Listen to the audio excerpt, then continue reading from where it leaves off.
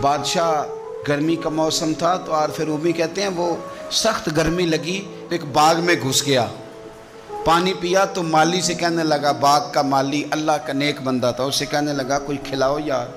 उसने पहले पानी पिलाया, फिर एक अनार तोड़ के बड़ा खूबसूरत बादशाह को पेश किया। बादशाह ने खाया तो बड़ा मीठा फल था।